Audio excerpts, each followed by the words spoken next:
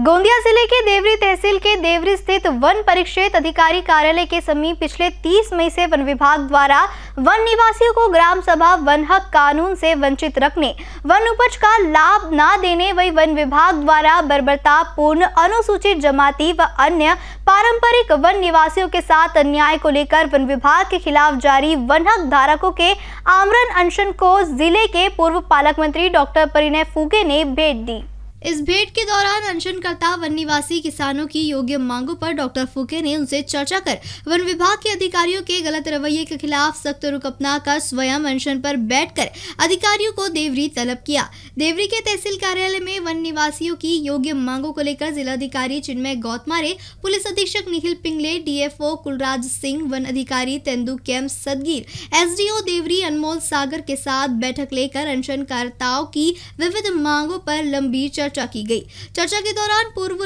पालक मंत्री डॉक्टर फूके के साथ एडवोकेट गोड़े वीरेंद्र बाड़ा अंजनकर, पूर्व विधायक संजय पुराम सहित अनशनकर्ताओं की मौजूदगी रही। बैठक में अनुसूचित जमाती व इतर पारंपरिक वन निवासी अधिनियम 2006 व नियम 2008 एवं सुधारित नियम 2012 वन हक कायदा 2006 अन्वय ग्राम सभा को प्राप्त स्वामित्व हक के अधिकार अधिनियम में वन विभाग द्वारा आ रही बाधाओं, ग्राम सभा वन हक अधिकार के किसान किसानों पर कार्रवाई करने, ग्राम सभा को वन उपज तेंदुपता संकलन करने का अधिकार होते हुए वन विभाग द्वारा लक्ष्य रद्द करने के टीपी, संकलन, बिक्री आदि पर रोक लगाने, ग्राम महासभा में समाविष्ट परसोड़ी येड़मा गोंदी, किशोरी, उचेपुर व मोहगांव के वन हक दावों के प्रलंबित मामलों पर सकारात्मक चर्चा हुई। चर्चा में इस बैठक में जिलाधिकारी की उपस्थिति में आपसी समन्वय के तहत वन विभाग द्वारा निर्णय लिया गया कि जो प्रक्रिया प्रक्रिया ग्राम सभा अधिकार द्वारा की जा रही है। उसमें वन विभाग किसी भी तरह का हस्तक्षेप फ़िलहाल नहीं करेगा। लेकिन आगामी वन उपज प्रक्रिया हेतु शर्तों के तहत सभी उचित कार्रवाई C F R T P आदि की प्रक्रिया सीज़न के पूर्व नवंबर तक पूर्ण करने पर